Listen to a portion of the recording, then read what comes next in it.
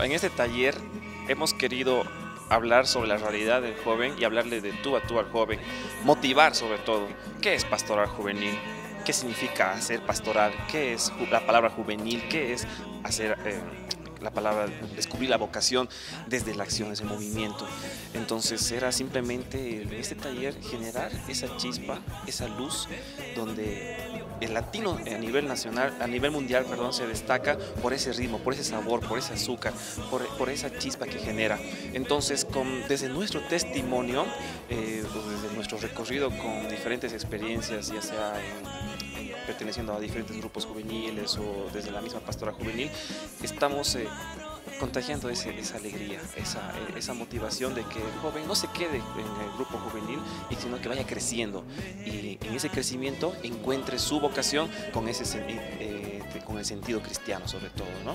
Eso es lo que hemos querido manifestar en nuestro y expresar en nuestro, en nuestro taller.